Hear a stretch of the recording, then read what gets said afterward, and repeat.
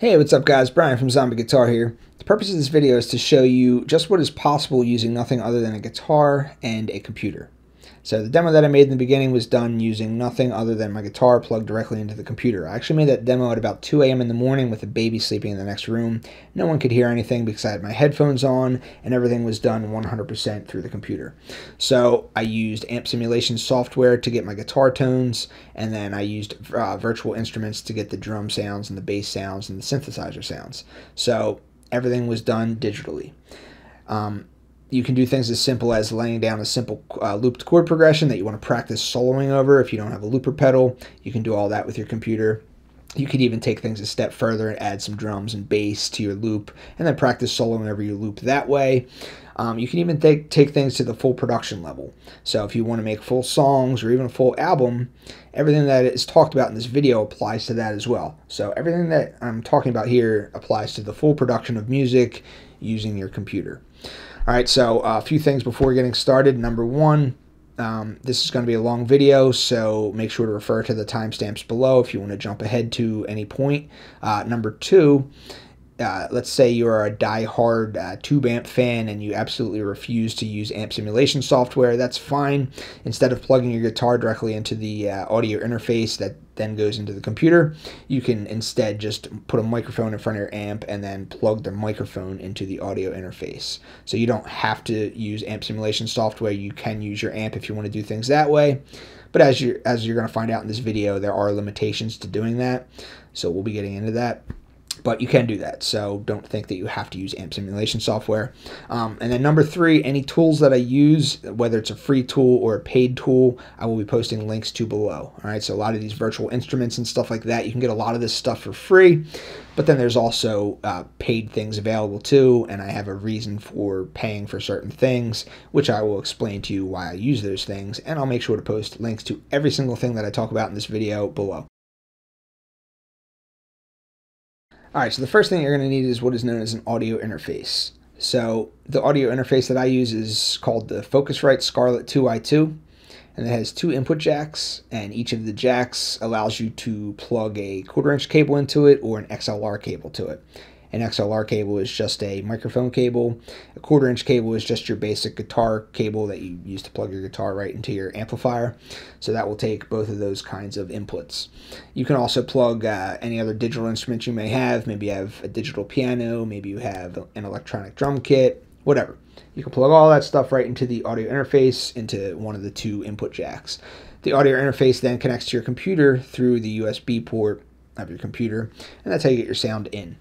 So then I'm going to need to monitor your sound. So the jack all the way on the right, that's your headphones jack. That also takes a quarter inch cable. Plug your headphones right into that jack. I love to do that for my late night practice sessions. And then you control the volume of your headphone mix by using the little knob right next to the headphone jack. Um, then you may want uh, to monitor your sound not through headphones. You may want to monitor sound in the actual room. You do that by plugging uh, using the two jacks in the back. There's a left jack and there's a right jack in the back. So ideally, you're going to want two um, studio monitors, one for the left and one for the right. But if you're not mixing music, if you really are just, if you just want to jam, if your goal is to just kind of lay down some looped chord progressions that you want to solo over, you could just simply use a guitar amp, plug it into one of the jacks. I did that for a while. I just took a little Line 6 solid state amp that I had laying around. I just uh, stuck it on top of my uh, computer desk. I plugged it right into the back of my audio interface, right into the left jack, and then I use that to monitor my sounds. If your goal is to, uh, you know, actually make professional sounding music, you know, record full songs or full albums or something like that, then eventually you're going to want to invest into uh, studio monitors. But as I said, if your goal is to just simply jam and whatever, you're not actually trying to get professional sounding recordings, a guitar amp will be fine. Cheap headphones will be fine, whatever you want. You only need exp ex expensive mixing equipment if you plan on producing professional sounding music. So the next thing that you're going to need is what is known as a digital audio workstation, or DAW for short. So the one that I recommend is uh, a program called Reaper. So Reaper is one of those nuggets of gold that you find on the internet that you can't believe it's so good for the price that it's at. Reaper is a $60 program and it comes with a 60-day fully functional free trial. Now keep in mind I don't get compensated for uh, promoting this company at all. They don't even have a affiliate program, so I make no money by rec uh, recommending Reaper. It is just such a good program that those who use it can't believe that it's so cheap. So, you know, it's a professional DAW. It is used by studio engineers all over the world. It, it's on par with all the other big players such as Ableton or Pro Tools or Logic or Cubase or Reason or FL Studio. It is uh, it can do anything that all those other DAWs can do, but it's only sixty dollars and it has a free trial. So it's a phenomenal software. I highly recommend it. It can be downloaded from their website, which is reaper.fm. And um, uh, there's some free ones out there. Uh, one of the most popular free DAWs out there is Audacity. I do use Audacity, but there are definitely a lot of limitations when you use Audacity. If you just want to plug a guitar into your computer and lay down a, a guitar track and then plug a microphone in and lay down a microphone track and then kind of mix the two tracks together and things like that. You can do that using Audacity, but there is a lot of limitations. You're not going to be able to use the digital instruments. You're not going to be able to do real-time effects editing, which you're going to learn about in this video. Um, so while a program like Audacity does have its place to do simple, you know, just simple audio recordings and things like that, it is not a fully functional professional digital audio workstation like Reaper or like Pro Tools or like Ableton or like Cubase or anything like that. All right. So if you want to do everything that I talk about in this video, you do want to get one of the paid digital audio workstations. Something like Audacity will not allow you to do everything that is covered in this video. All right, so there's three ways of getting your guitar recorded into your computer. Number one, you can simply take a microphone, put it right in front of your amplifier, and then plug the microphone into your audio interface and then record your guitar tone that way. Uh, there's two major downfalls to doing things that way. Number one, the guitar tone that you hear in the room is not going to be what you hear on the recording because the microphone is only picking up a certain portion of the overall sound spectrum. All right. Any movement of the microphone that you do, if you move the microphone a little uh, farther away from the speaker, it's going to sound different on the recording. If you move the microphone to the left or to the right or up or down, it's going to affect the way that the recorded tone sounds. If you use a different microphone, different microphones are going to give you different recorded sounds. Uh, some people they use a, a combination of you know one or two mics. Maybe one mic is close to the guitar amp, and then one mic might be farther back, and then they might mix the two together to get a, you know, a really nice recorded guitar tone. But there's so many variables in there that to me that adds more complication than I want to deal with. So I don't really prefer to record my guitar tone this way. Um, another downfall of doing things that way is whatever your guitar tone is that you, you know, whatever your pedal chain happens to be. Let's say you have a reverb pedal, a delay pedal, a distortion pedal, uh, and any other effects, whatever whatever tone you have going through your amp as you're playing, and then the microphone picks up that tone with all the added effects. Those effects can't be undone. So if you record a guitar tone using a mic in front of your amplifier, uh, and there's delay and reverb already on there, you can't take that away after the recording has been uh, put into the computer. So that's another downfall. And then of course, you know, you can't you can't do recordings uh, loud or late at night if you have people in your house or neighbors next door or something like that. So I don't prefer to record my guitar tone that way. Um, the second way that you can record your guitar tone, tones, a lot of amplifiers they'll have a, a line out jack in the back of the um, in the back of the amp, so you can just take a quarter inch cable, plug it right into the line out jack, plug the line out jack right into your audio interface, and then essentially you're recording direct in at that point. So you know that'll that'll keep the volume under control, so you can still use your headphones to monitor your sound. People in the house won't be able to hear you. But again, um, whatever whatever tone that you have in your effects chain, whatever delays or reverbs or choruses or distortions or anything like that, whatever you lay down on the recorded track, you can't undo that stuff. So that's the second method, also not my preferred method. Um, the third way is to use amp simulation software, and this is my preferred method because number one, technology is getting so good these days they are doing such a good job of emulating um, great amplifier and uh, cabinet combinations, and uh, you know the the tones are just so good. But not only that, but you can have full control over your tone after the recording is already laid down. So I may want to uh, lay down a solo. I may want to record a solo over a rhythm section using you know like a, a perfectly dialed in tone and then let's say I don't like that tone that much. Let's say I want to change the delay or remove the delay, or maybe I want to remove some of the distortion, or maybe I want to whatever. I can completely alter the tone within the computer after the track has already been laid down because the only thing that was actually inputted into the computer was a clean, unaffected guitar signal. Everything else was then, you know, simulated. All of the other effects and all the other uh, processing was done in the computer.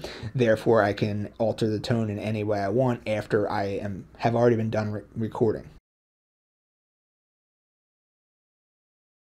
All right, so real quickly, I just want to talk about the amp simulation chain before turning the video around and then working within the DAW. The remainder of the video after this will be inside of the DAW. But um, let's think of a typical chain. A typical chain may be your guitar plugs into a tube screamer pedal which then plugs into an amplifier, which then plugs into a cabinet, which then has a microphone in front of the cabinet, and then that, that microphone plugs into the audio interface. So that would be a typical live rig chain and getting a recorded tone that way. So amp simulation chain is the same thing, but you can do that all digitally. So they have uh, digital pedals, and you can download a free uh, Tube Screamer uh, pedal, which a link to that will be below. So let's say you have that in your chain, and then the next part of the chain will be the amp simulation software. There's a couple different ones that um, you know I like to use. Again, links to all that stuff will be below. I'll be walking you through that through the rest of this video too. Um, but that's the amp portion of the chain. The next portion of the chain will then be a combination of the cabinet and the microphone placement because as I said, depending on where you place the microphone in relation to the cabinet speaker will affect how the recorded tone sounds. Also, if you use different cabinets, every kind of different cabinet that you use, every kind of different microphone that you use, every kind of different uh, microphone placement that you use, all of that stuff, that's the, the final part of the chain. That's known as an impulse response. So, an impulse response is a combination of a guitar cabinet and a microphone placed in a certain position uh, in, in relation to the speaker.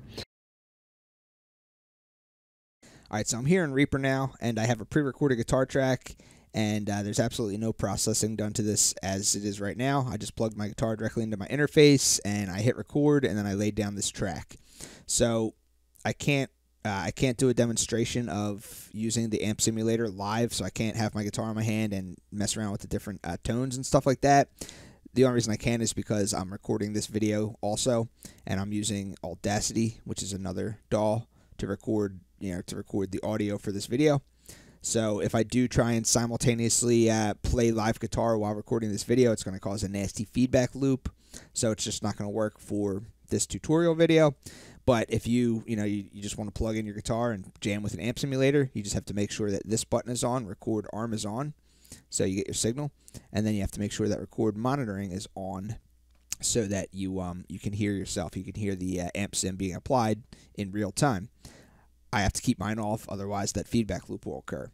But for the purposes of this video, I just simply recorded a pre-recorded track and I'm going to apply the amp simulation afterwards. So you can apply the amp simulation at any point you want.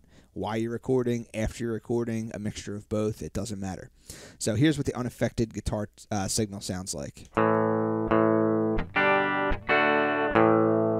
And I have this. And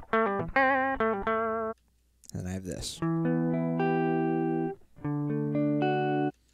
So that's just a unaffected guitar tone, and I want to apply this amp simulation to it. So what you do is you come to um, effects. Anytime you want to apply anything to any track, it's all found right here in effects.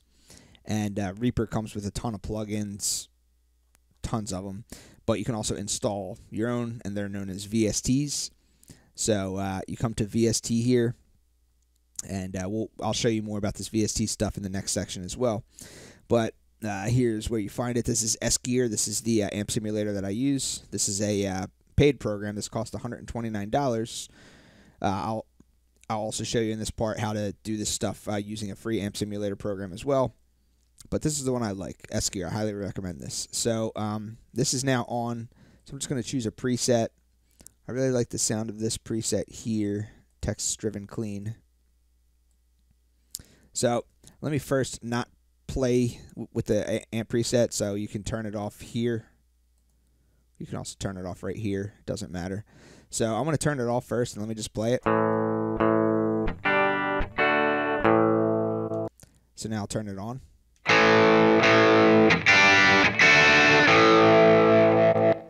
Sounds pretty different, right? So, you know, that, was just the Texas Driven Clean preset. Uh, let me try this Plex Monster preset.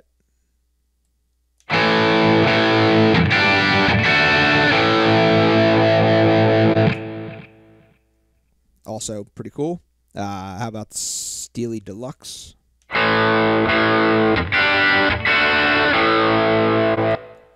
So that's just messing with the uh, different presets. So let me just um, come down to Texas Driven Clean again. And then, of course, you can tweak all these knobs and all these switches and stuff like that. Um, you can ch uh, choose different amps.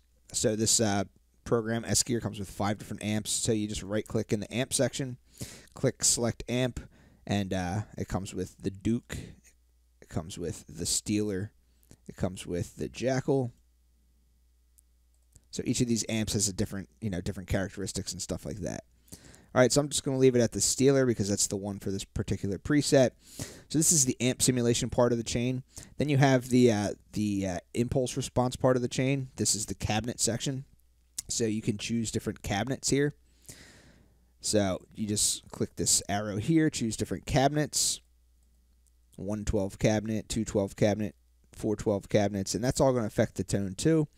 Um, and then you have mic configurations. So this uh, this comes with a Dynamic 57 mic, a Ribbon 160, a Ribbon 121, and then you can change the microphone placement of the mic by using this. So all this affects the tone. This is all the impulse response part of the chain. Okay, so there's really a lot that you can play around with here. You can also load your your own impulse responses. All that an impulse response is is just a a wave file. So you know, I downloaded a pack off of uh, the Celestion website. It cost me ten dollars, and it's the Orange 212 cabinet pack. So you can load them in over here, impulses, and you can see Orange PPC 212. So this is all the different mic configurations for this Orange PPC 212 cabinet, and every one of these that I use is going to slightly alter the tone. So rather than rather than using the impulse responses that this program comes with, you can also load them in yourself. So I, I had already loaded them in. That's why they're in here. So, you know, let's just hear how uh, the different cabinets affect the tone. So let me just start with this one. So when I use these uh, impulse responses, you want to just one of the cabinets. It gives you an option to use two cabinets. I just put it on one of the cabinets and then I keep cabinet number two slaved. You can either keep it off completely, you can use a totally separate cabinet, or you can keep it slaved, meaning that both of these are kind of running together. It's all running off of the orange. It's all running off of just the one cabinet.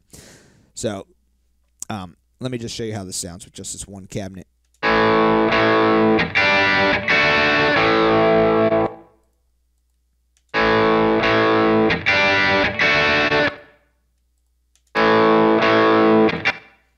It sounds slightly different, but you know, then you come over to these ones.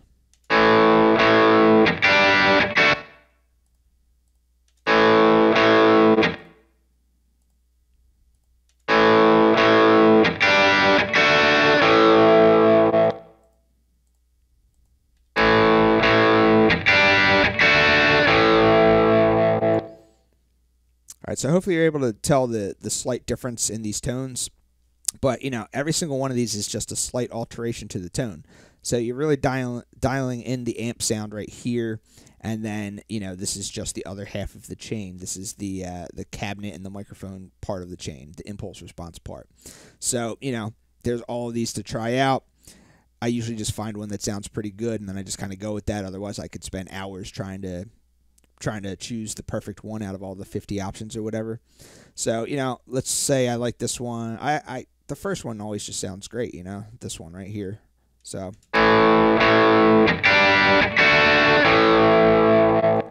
So I just go with that.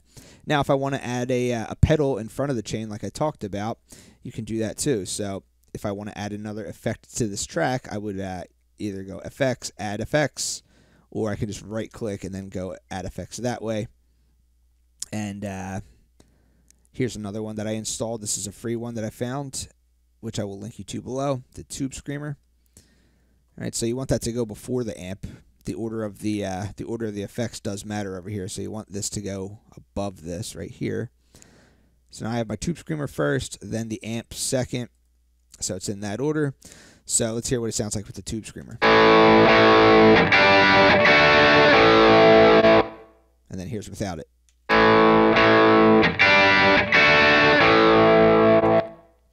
So you can hear that it definitely affects the tone. So I'm just going to leave the tube screamer off for this one because I don't really like the sound of that.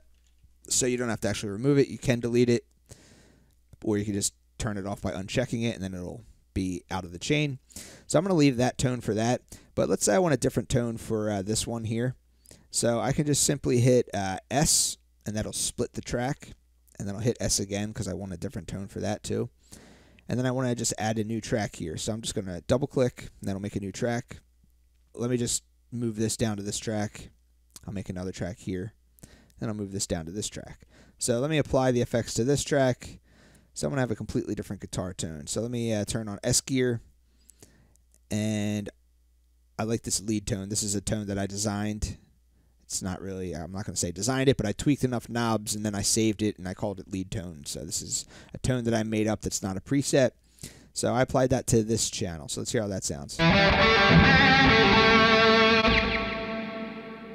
It's pretty heavily processed a lot of delay a lot of reverb. Here's without the or without the amp simulator. And then with it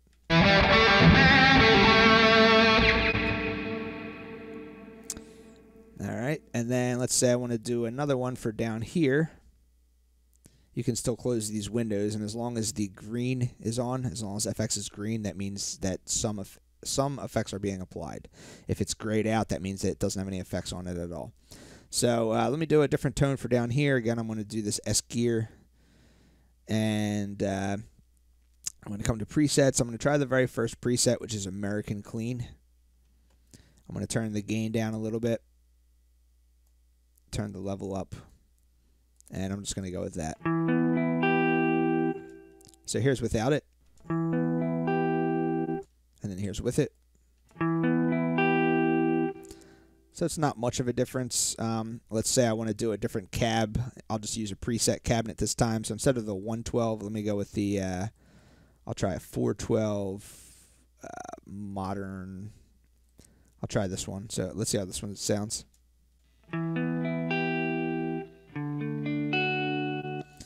All right, so it's starting to sound a little bit more beefy of a clean tone. Uh, let me go and add a uh, effect to it. So this program comes with a reverb unit, a delay unit, and a uh, uh it comes with a mod unit. So add device, you right click, add device comes up. So delay thing, mod thing, and room thing. So I'm going to add the the mod thing, and this gives you the option to add chorus or flange to your tone. So I'm going to just turn up some of these knobs to make sure that it has a good amount of chorus sound to it. And let's hear how it sounds now.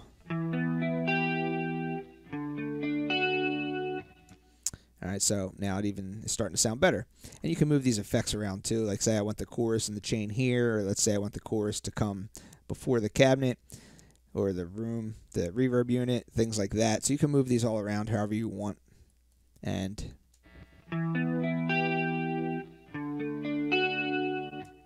I actually like the reverb down here a little better. But you can see how this is working. And you can tweak these as much as you want. And it's, you know, this is, you can do whatever you want. You can record the tone one way and then tweak the tone after you're done recording. And you have full control over it. So, uh, and then if I wanted to even beef up the tone more, I can go and add another um, another effect here. And uh, so Reaper comes with a bunch of them. The ones, the actual uh, Reaper plugins are Cockos. That's the name of the company. There's the Reaper, the REA Cast, REA Comp, REA. Anytime you see REA, that's an actual Reaper plugin. It also comes with a bunch of these JS plugins. But these uh, Reaper plugins are really good. Um, so REA Comp is a compressor. So you can put a compressor on there. And I'm not really going to get into the details about how a compressor works in this video, but just turn the ratio up and turn the threshold. Uh, we're going to adjust the threshold and then make sure you have auto makeup gain checked because any volume reduction will be made up by checking auto makeup. So let's hear how this sounds.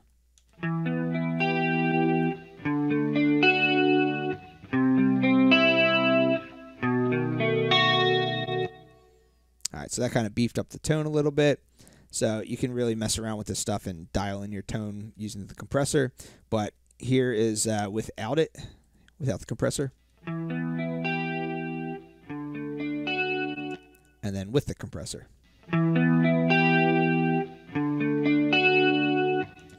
So it definitely beefed it up. And, um, you know, I didn't have to mess with the volume fader or anything like that. So that's using S Gear. That's the paid program that I prefer. You can also use um, a free one. So let me show you that one. So let's let's go with this tone again. Let's get rid of this pedal here. Let's get rid of uh, this amp here. I just hit delete there. So now this this uh, track has no nothing on it. So I'm going to go back to my effects. I'm going to go to VST and then Ignite Emissary. I'll give you a link to this one too. This is, is kind of like a metal amp, but has a lot of, uh, you know, you can really mess with it and it, you don't have to use it for metal. So you can get some good tones out of it. So just just playing this amp alone, it's not going to give you a great tone because it doesn't have the cabinet part of it, but it'll you'll still see that the tone will be affected. So let's hear how it sounds without the cabinet. It sounds pretty bad, right?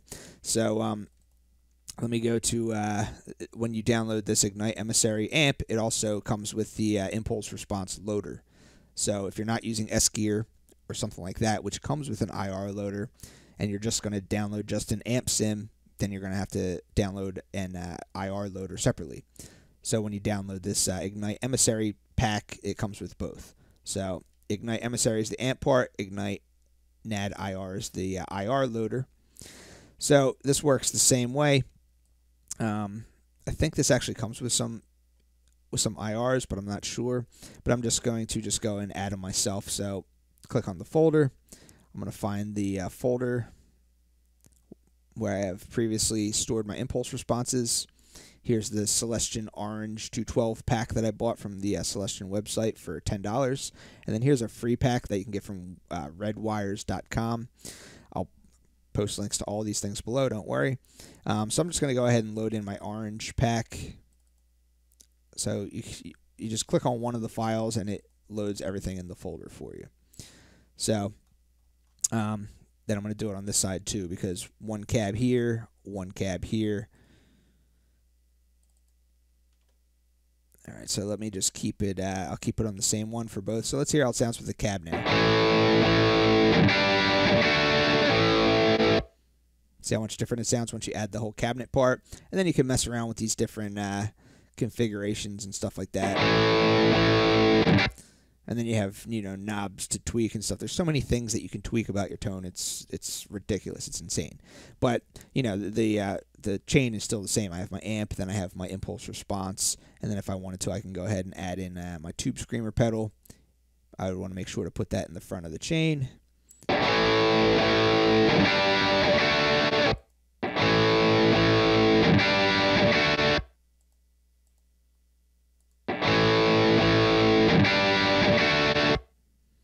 All right, so that's the overview of how amp simulators work. So as you can see, you have uh, total control over your tone uh, after the recording has already been put into the computer. So you can record your tone one way and then completely alter it into something completely different before or after the recording happens. All right, so now let's take a look at virtual instruments and how to use them in your DAW and then how much control that you have over them. So these things are super versatile and there's a zillion uh, digital instruments out there. Before I even get started, I just want to uh, uh, give a plug to this one website that I found on Reddit. This is the uh, 250 must-have free VST plugins. This is your URL up here. So I'm going to post a link th to this below. Um, hopefully he doesn't you know, change this at any time, but I have this saved in my bookmarks because this has a ton of plugins. This has synthesizer plugins, it has, you know, um, vocal plugins, it has guitar plugins, it has bass plugins, it has piano plugins, it has all kinds of stuff. So there's 250 free digital instruments or free or 250 free virtual instruments uh, that you can get from this website. So I love this website. Um, so how do you get these into your DAW in the first place? So let's look at that. So in Reaper, you're just simply going to come to Options, and then you're going to come to Preferences, and then in your preferences, you're going to come down here to VST, and then you just want to make sure that the uh, file path for where you are downloading your uh, VST plugin is in here. So in here, there's actually three file paths that I have. Uh, C program files, x86 Steinberg VST plugins, then if you want to add another path, you put a semicolon and then put your next file path. And then semicolon C program files slash common files slash VST3. If I wanted to add another folder where other plugins go, I would just simply add a semicolon here and then add that file path in. So coming down to uh, my actual computer, I'll show you what these look like. Program C, so program files, when you download Reaper, it automatically populates it with this uh, Steinberg folder. So Steinberg, VST plugins, and VST plugins come in the form of DLL files. So you find the DLL file whenever you download one of these VST plugins, you put it in your folder, which is uh, where you're pointing to in Reaper. So C, program files, Steinberg, VST plugins. And then any ones I download, I just uh, copy right to this folder and then Reaper will uh, then see that and you can add them to your tracks. All right, so then when I downloaded the S Gear program, Scuffham Amps, Scuffham Amps is who makes S Gear, that folder was automatically added, and then S Gear VST, so that that one was put in there. All right, so C program files, Scuffham Amps, S Gear VST.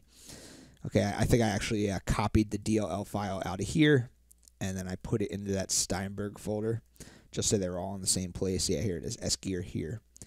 So I like to keep all my uh, I like to keep my plugins in just one folder. So program files, Steinberg VST plugins, which is pointed to in options, preferences, VST, C program files, Steinberg VST plugins. All right, so that's how you um, get your DAW to read these things.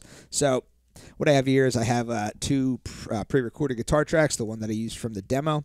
So I just recorded the same part twice, and I panned one all the way to the left, and I panned one all the way to the right, and then I altered the tone a little bit for each uh, guitar part, so it's actually like two, two guitar, two completely separate guitar parts, as opposed to just copying one and pasting it. So it sounds like this.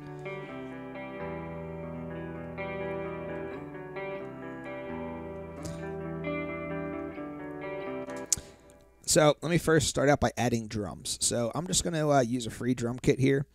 Um, so I'm just going to make a new track by double clicking. And uh, now the thing that you want to realize when you're using these virtual instruments is that everything's based on this grid, and this grid is all determined by the tempo that you set for your project. So this project is set at a BPM of 65, pretty slow, and then it's in a 4-4 time signature. So you can change this to whatever you want, uh, and you can uh, you know change your time signature to whatever you want. And then when you're recording the guitar track, you can just turn your metronome on and that will help you to record your guitar in time to whatever the tempo of the project is set at. So then when you want to go and add drums, that will sync to your project tempo. So let me go and add a, a free drum kit. So I'm going to click Effects. Um, if you can't find what you're looking for in the VST, you can come down to Instruments. And I have a bunch of them down in here too. So MT Power Drum Kit. This is actually a free uh, drum program. So I'm going to add that. and this is pretty simple to use. Basically, you just uh, come to your grooves, and I'm going to, has a bunch of different types of grooves. So I'm just going to go with uh, eighth notes, uh, closed hi hat. And you can try out these different grooves to see which ones you like just by double clicking on them.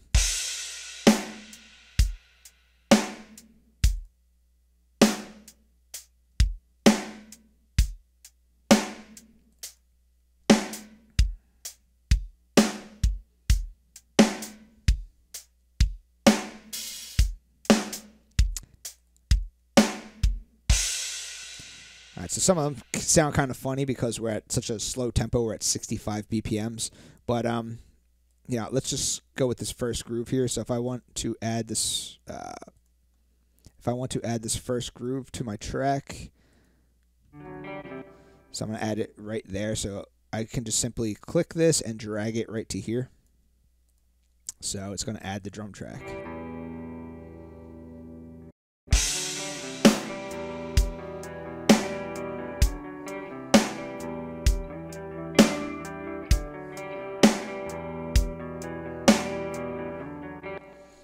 So the drums are right on time, right with this 65 BPM tempo. My guitar is uh, is slightly off, and that's just because I'm a human, and you know I just my timing's a bit off. but this is completely uh, in time with the uh, tempo. So this is only going to give you three fourths of the um, three fourths of a bar. So you have one, two, three, and then this would be your full bar right here. So the reason that is is because they want you to add a fill every time. So you have a bunch of fills. Every groove or every uh, every one of these folders comes with a bunch of grooves and a bunch of fills. So you can try out the different fills. Let me just go with fill number four. I'll put that right there. And then now you're going to see it has the drum beat followed by the fill.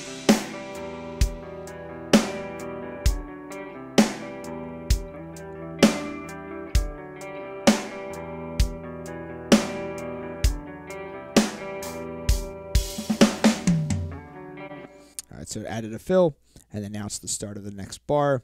So if I wanted maybe to go to a eighth eighth notes on the ride, I could do that. Choose a groove. Let me try groove number six, and then fill number fifteen. So I'm gonna just drag in uh, groove number six here, and then fill fifteen over here. See how that sounds.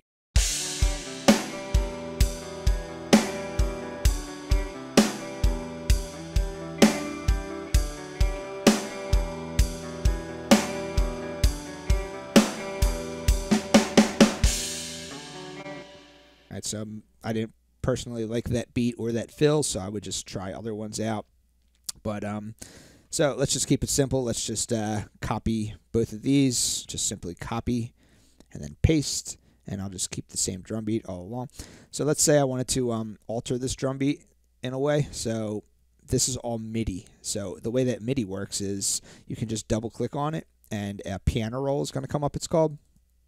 So you can edit all of your MIDI notes over here very easily. So just by clicking on the piano roll, you can hear which note of the piano is associated with which drum. So.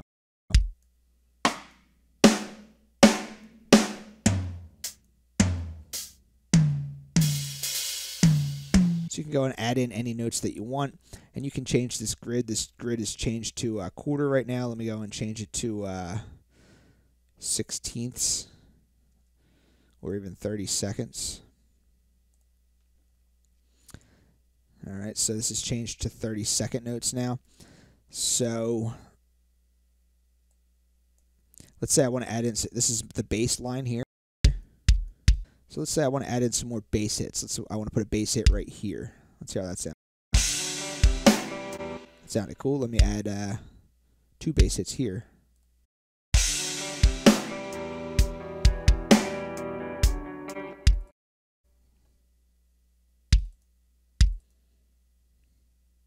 Sorry, I'm just going to go ahead and do that to all of them. That sounded cool. That sounded cool. So here's my modified drum beat.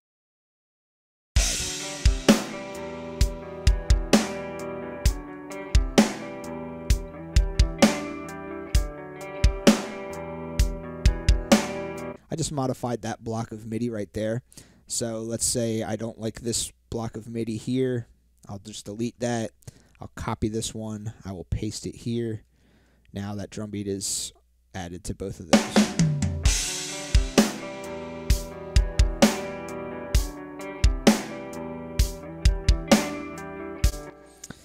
All right, so that's pretty simple. Um, let's go ahead and add a bass line now. So I'm just going to add a new track here. And uh, I'm going to go to my effects. Now let me first show you a free bass thing that I use. So this is a TAL BassLine, T-A-L baseline, and that's found under instruments. And I got that from that uh, website that I showed you, that 250 must-have free VST plugins. I found that there. So this sounds like this. So mess around with some presets here. Let me try, uh, I'll try clean bass, see how that sounds. I don't really want that. Let's try soft bass. It's kind of a cool sound. So I can either control this piano just by clicking on it like this, or I can uh, use a MIDI controller, an external MIDI controller. The one that I use is an MPK Mini. It costs $100, and you just plug that right into the USB port of your um, uh, of your computer, and then you just select your input right here. Input mono, input stereo, or input MIDI. So I just choose input MIDI, and because my M my MPK Mini is plugged into my computer, it comes up here, and then you just select all channels. So now my uh, MIDI controller is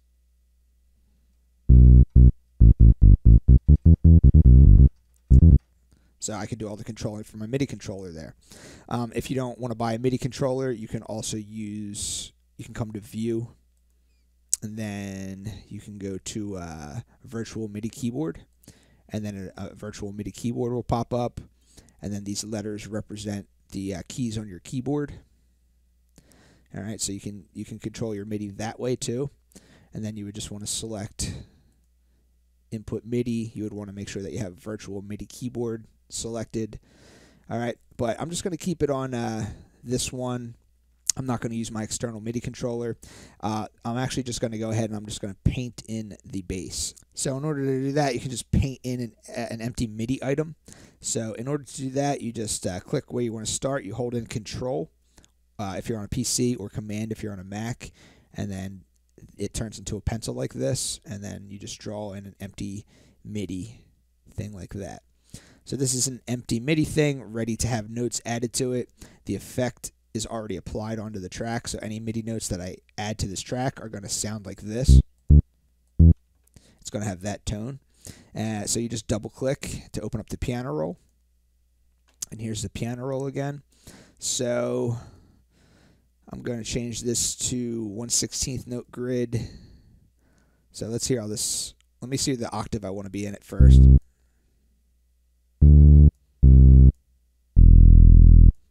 I kind of want to be in this octave here for my bass. So let's hear how this sounds. So the guitar part is going D to C to E. So D to C to E. And then the E is held out longer. So let me just paint these in. So the D note. And then to the C note. And then to the E note, which is right here. So let's see if that lines up.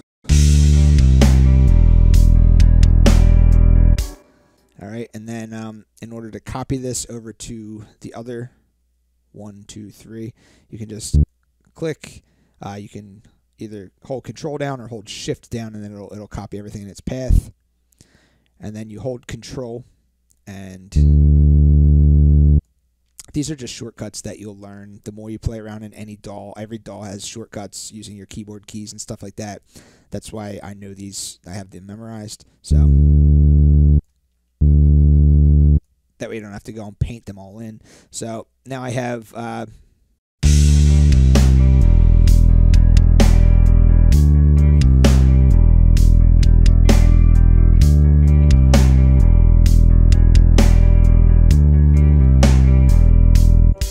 And then you can change the velocity of each note too by using these down here. The velocity is how hard the notes are hit. So let's say I want it to, you know, maybe I want this to slowly build up.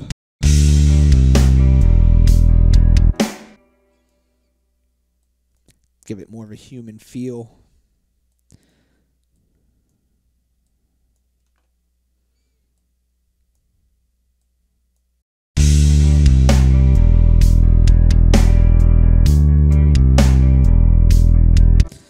All right, so you can't really tell because I didn't add that much velocity variation, but you can really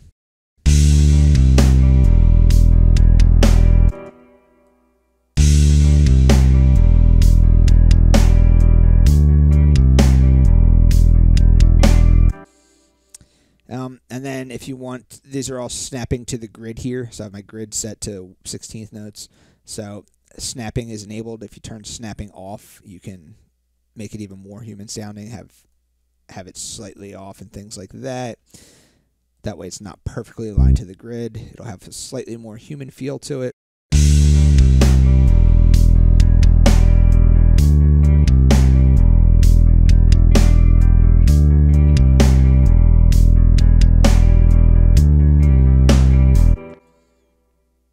So you can make all these alterations just in the MIDI roll here or the piano roll here. So I kind of liked it being snapped to the grid, so I'm just going to keep it like that just for the purpose of this tutorial. Keep everything nice and uh, nice aligned to the grid like that.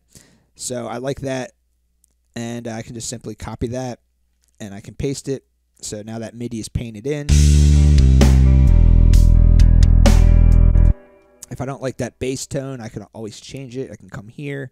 I can use different presets. I can, um, you know, I can tweak these controls here, st stuff like that.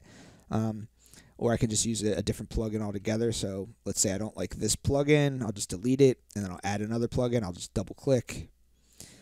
Um, this is one Ample Bass. So Ample Bass here. So this is another one I bought. This is a $119 program. You can also download the light version for free from the Ample Bass website. Um, so let's just hear how this sounds now. So this is going to give you a different bass tone.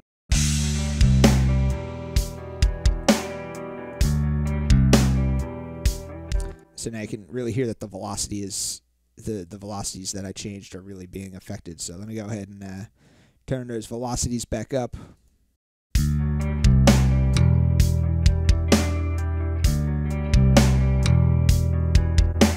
So when you're using this plugin, the velocities are really apparent. But and then you can change the different uh, types of bass tone that it has. I like this one. I like direct bass.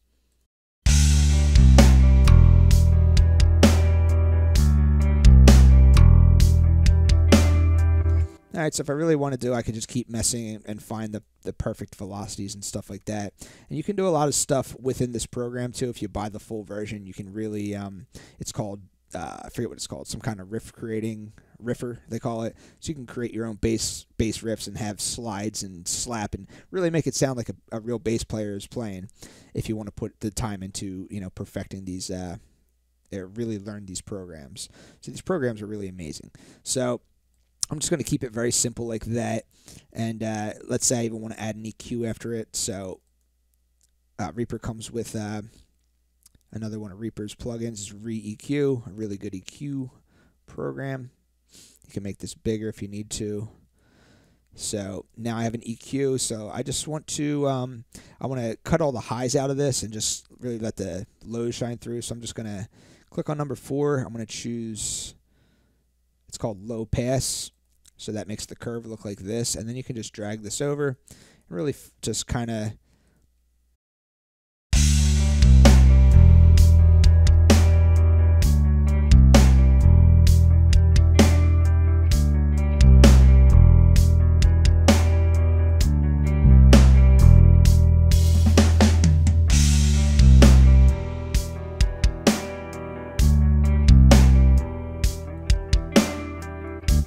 So let me delete this because I had the velocities from before. So I'm going to recopy this, repaste this. So I just added some EQ after the bass. So without the EQ, it'll sound like this. With the EQ, it'll sound like this.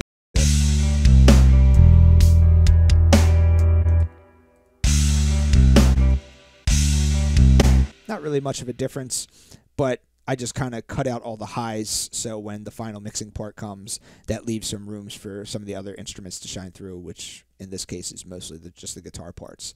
So I cut all the highs out of the bass, leaving the bass just occupying the lower end of the spectrum. So you can see how powerful this MIDI stuff is. You know, you just kind of download these uh, virtual instruments, you get a starting point, you open up the piano roll, you mess around, you add notes, you tweak it, you change the velocities, you move things around you copy parts, you paste parts, you uh, change your tones and stuff like that. You can really get very, very creative with this stuff. All right, so working with loops and Reaper is very simple, and this is probably where you're going to be spending the majority of your time. Uh, with regards to just soloing over loops, if that's what you want to do, or if you want to, you know, really dial in and write some really nice bass lines or drum parts, or uh, when you're in the mixing process, you want to just loop a certain section and just mix a certain section. Just simply laying down a loop is uh, very, very helpful. So to do that in Reaper, you just simply uh, select the uh, area that you want to uh, loop. So let's say we want to loop from here to here. So you can just click anywhere on the screen and hold in the mouse button. Oops. Holding the mouse button and then just highlight the area. So that's going to be the looped area. So anywhere else you clear or you click on the screen is not going to affect the looped area. If you want to uh, increase or decrease the size of the looped area, you just come right to the edge of it and change it like that. All right. So anywhere you click won't get rid of that looped area though. If you want to if you want to get rid of the looped area, you just hit escape. All right. So that's how you get rid of it. And then to make sure that looping is enabled, then you want to have this on as well. So toggle repeat is on. If it's grayed out, looping is off. If it's uh, green like that, then looping is on. So the way it works is anywhere this starts, the cursor will get to the looped area, and then it'll play through the looped area, and then it'll start back at the looped area, and then continuously repeat.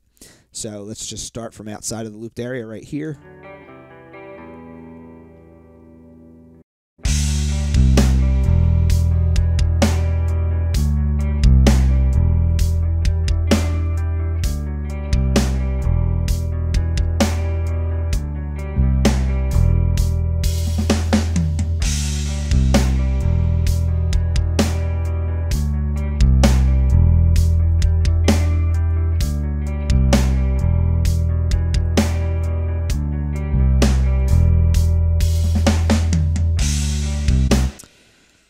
So you see how I just opened up the uh, the bass right there, and I just kind of tweaked the bass a little bit.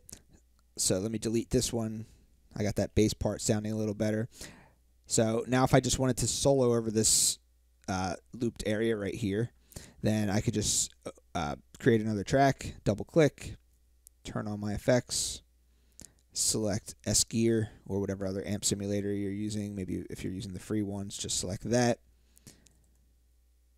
select the tone that you want to jam with. I like to start out with Texas Driven Clean. And uh, like I said, I can't do a live demo of this because I'm recording this tutorial video, but for you at home where you're not trying to simultaneously record audio for a tutorial video and you don't have to worry about any feedback loops occurring, you would just simply have your uh, effect enabled, your amp sim enabled, and then you would want to have record monitoring on. I'm going to turn mine off and then you want to have record arm on as well. So this will allow the signal to come in. You can see the signal coming in over here. And then this will allow you to hear your guitar being played back as you're playing, so you'll be able to hear the the simulated guitar tones. I can't turn this on because as soon as I turn this on, it'll start making crazy feedback, but that's only because of my uh, situation of recording this tutorial video. So that's all you have to do, and then you can just jam over top of this, and then you just simply hit play. So as the rest of the stuff is playing, you're you'll be jamming, your guitar playing will be in real time, and the loop will be just going on and on. So.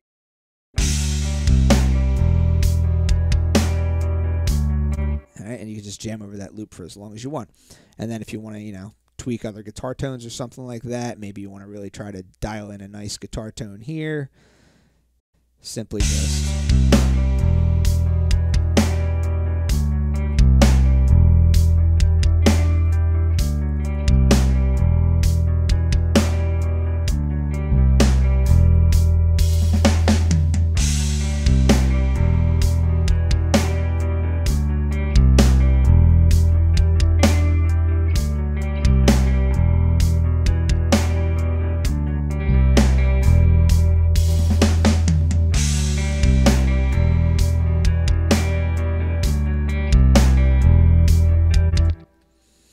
right, so you see I can do this. I'll, the loop's just continuously playing, and I'm adding or I'm changing effects in real time.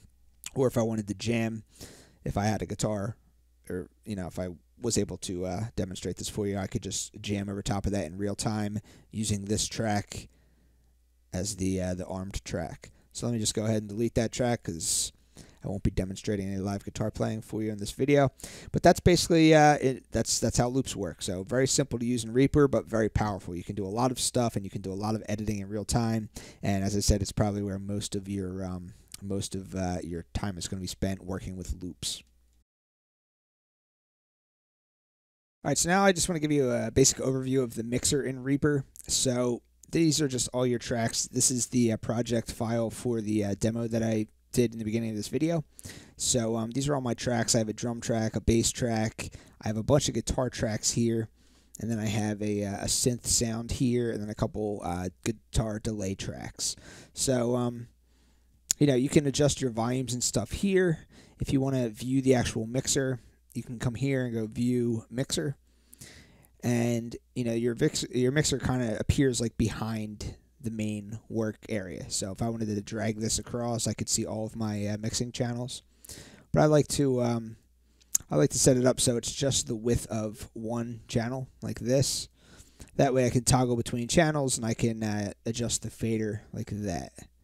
You know, for any of the channels that I uh, select. Um, if you want to view the whole mixer, which is what we're going to do now, then you can hit Alt O if you're on a PC. And I believe if you're on uh, a Mac, I think it's Option O. I think Option is the same thing as Alt on uh, a Mac. I'm on a PC though, so I'm going to hit Alt O and it's going to do this. So this is my full mixer right here. Uh, but before I get to the mixer, let me uh, go back. So I want to select a looped area that I'm going to mix. So let me first make sure that snapping is turned on. Snapping is disabled. Now it's enabled. That way, um, the area that I select will snap right to the grid, so I'll be starting right on the beats that I want. So I want to select this area right here. Starting there, ending here. So this is actually the most uh, the most powerful part of the song. So I'm just going to loop that area, make sure looping is enabled. Yes, it is. So I'm going to go back to my main mixing board. So first, let me, uh, I like to uh, put all my volumes to zero when I start mixing. All right, so I have all my volumes set at zero now. And I also want to uh, be able to view the master track. So you just come over here to where there aren't any tracks and you right click.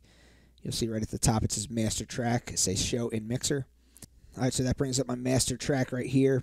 So the whole objective here is to uh, make all the levels even without causing the master track to clip. So I have this area looped here, so it's just going to loop this area here. Let me bring back up the mixer. And um, so yeah, I'm just you can just hit spacebar to make it start playing.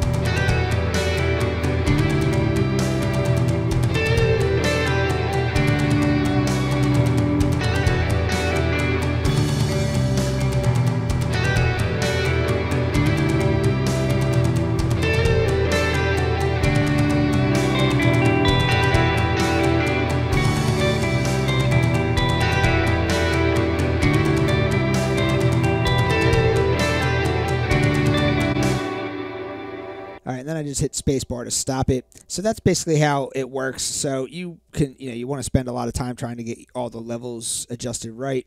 And then, you know, there was actually no guitar 3 in this particular part. So if I wanted to mix guitar 3 in there, oh, I forgot to mix the atmosphere, the synth sound in there too.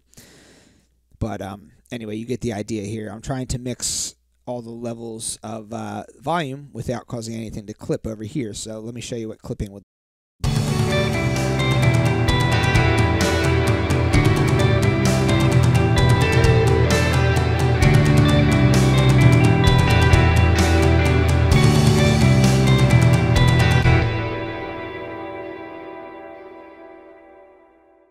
So you just want to try and get all of these levels even and kind of as loud as you can without causing clipping on the master track. So that's as far as the volumes go. Then you can pan things using these faders here. So you can see guitar 1 left, guitar 1 right.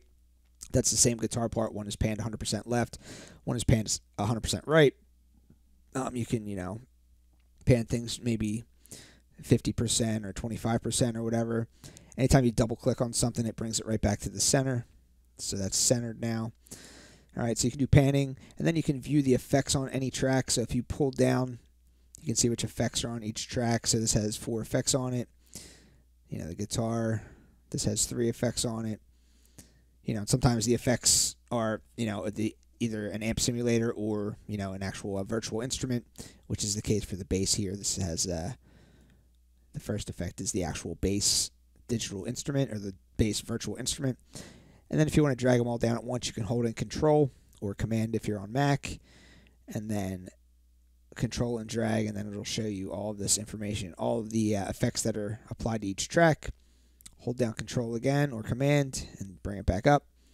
And then you can go and add effects to any track. So, you know, let's say I wanted to uh, add an effect to, I don't know, any track. Just click on that, and then this window comes up. You can go ahead and add effect add any effects just like you normally would. So that's the uh, basic overview of uh, the mixer. The last thing I wanted to talk about was just uh, mixing drums. So I'm using, uh, actually for this track that I made, I'm using a different, I'm using EZDrummer.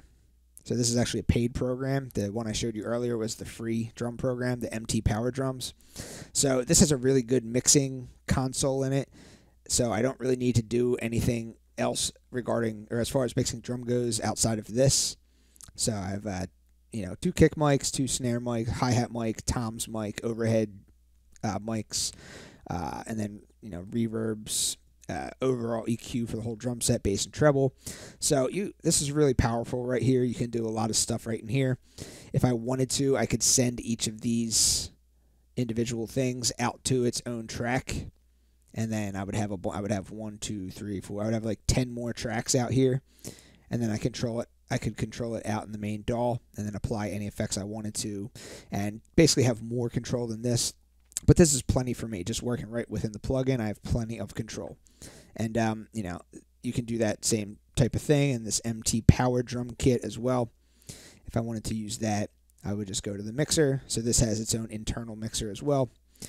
Um, again, but if you wanted to, you could send each one of these out to their own track out here and then have more control.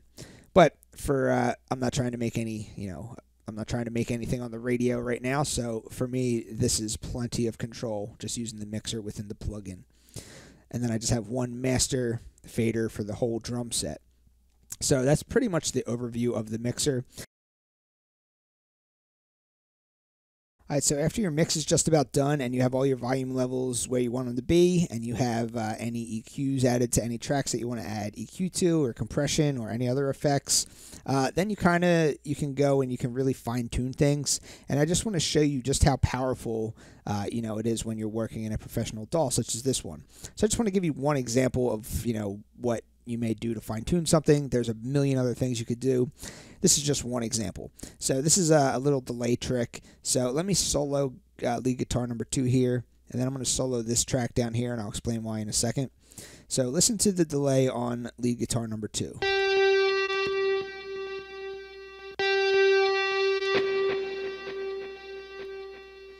All right, so it's kind of uh, it's kind of a fast delay. Now listen to the delay right here.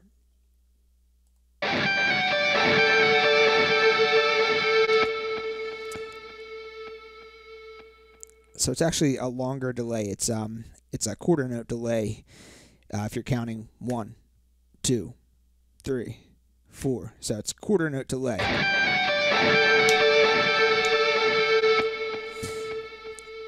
But that quarter note delay isn't applied to this part right here. And the reason is, is because um, I'm actually using a trick called parallel processing. And um, it's actually a lot easier than it sounds. So let me actually walk you through how you would go about doing this. So let me delete this guitar delay number two track here. And so you can really dial in the, in the uh, delay on just the track right here.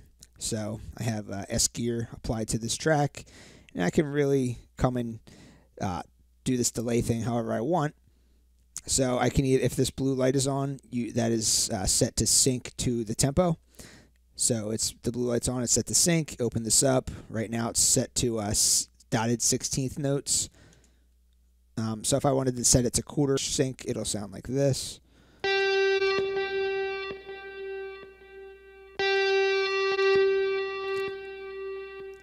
So that's actually the speed that I wanted for right here.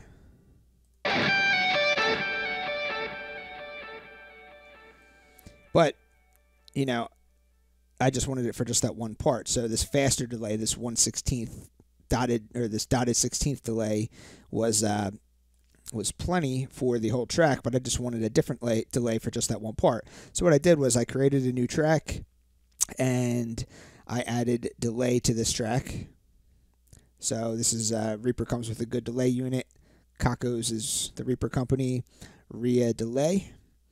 So this is a really good um, a really good delay unit. So this is the uh, this is going to be the sound that I'm sending to this track, and then this track is going to be 100% uh, processed or 100% delay. So I want to keep my wet at zero, and I want to keep dry down because lead guitar 2 is technically going to be the, the dry sound that is going to be sent to this delay unit. And I'm going to put my length here. So four eighth notes is a half note. A little bit of math there. Two eighth notes is actually a quarter note. So that's the delay that I want. So this track has that delay that I want. So then I'm going to send this track to this track by simply grabbing on the routing and then dragging it down to this track. See how a little pin icon comes up? So you drag it to there. All right, so now it's saying track 10, lead guitar 2. It's being sent to track 16.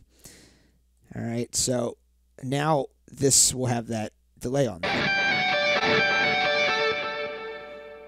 So it's only one. So if I want to have multiple of those uh, tails, those delay tails, I could do uh, something that you're probably already familiar with. You could turn the feedback up. So I could turn the feedback up to like here.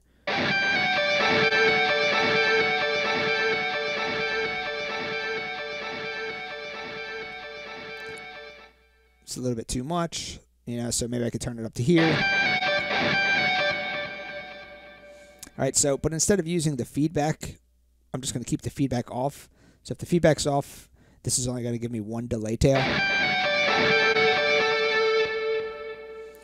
All right, so only one delay tail. So what I could do is I can add a tap. So number one was my first one, the 16th note. So I'm adding the second one, and I'm going to make this to be four eighth notes. So this one's gonna this one's gonna um come on the half note. All right, and then I'm going to add a third tap, and this one's going to be add to uh, six eighth notes. And then I'm going to add a fourth tap, and this is going to be eight eighth notes. And then I'm going to adjust the volumes of each tap uh, to get slightly quieter each time. So the volume is going to be 0 for the first one. It's going to be minus 3 for the second one. It's going to be minus 6 for the third one. And then minus, uh, what did I do? 3. So I guess I'll do minus 9 for the fourth one. So now this delay sounds like this.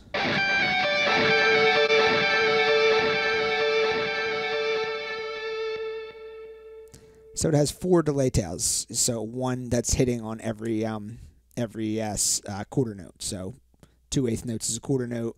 Four eighth notes would be a half note. Uh, six eighth notes would be uh, three quarters of a note. So you see how this is going. You just have to do a little bit of math. and you can basically program this to be timed perfectly with the tempo. Um, but I only want it to happen on just that one part there, you know. So this delay, this guitar track is sent to this delay here. So right now, as it is, this whole entire track is going to not only have the delay that's coming from the uh, amp simulator module, but it's also going to have this extra super hardcore delay on it for the whole thing. But I don't want that. So what I do is uh, I click on this track and I hit V, the V for volume. So this is going to open up what's known as a volume envelope. And you can just dial in points and this will basically, this is called automation. So I'm automating how this is going to work. So I just want this to happen right here. So if you hold in shift and you click, it makes a point. You hold in shift and click right next to it, it makes another point. And then I want it to cut off right there. So shift, shift. So I really just want this to, I don't want any delay going on at all until it gets to that point right there. And then I don't want any delay I kind of want it to fade out over time. I can even bring this up a little bit if I want to crank the volume on it a little bit. And then slowly have it fade out. And then have it fade out a little bit more. You know, maybe even going into the next, uh, maybe even have it going all the way over here to make a nice transition. Something like that. You can play with this curve however you want. But so now, then I want to add another point over here and then everything after that point. Let me move this over a little bit. So now everything after that point, because now this is the other part of the song, um, it's going to sound like this.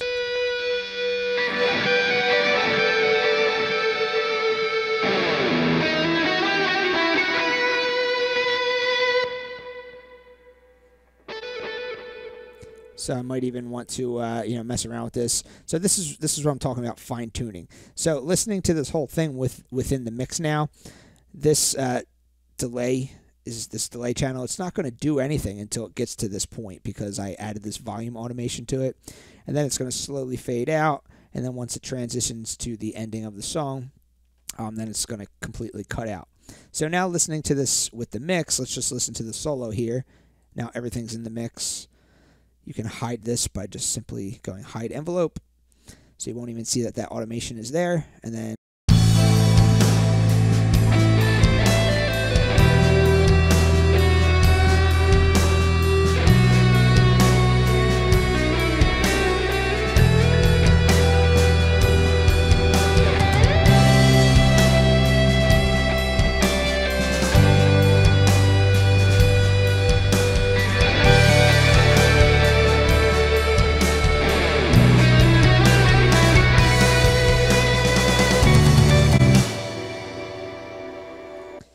All right, so hopefully you could uh, hear that.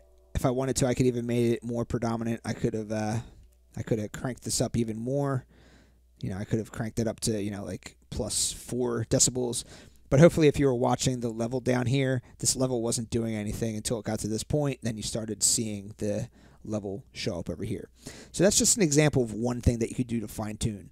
So these are things that aren't completely obvious when you first open a program like this, but there are a million things. So there's a bunch of tu uh, tutorials on YouTube about how to use Reaper. I've watched tons of tutorials on this program and I'm still learning more about it every day, but I just wanted to show you just just, you know, give you some creative ideas of things that you can do when you're trying to put a song together. You can have different delays here and different delays there, and send this track to that track, and all kinds of crazy things. So, uh, the possibilities of creativity when you know working with a computer and working in a professional DAW are endless. So, I just wanted to give you one quick example.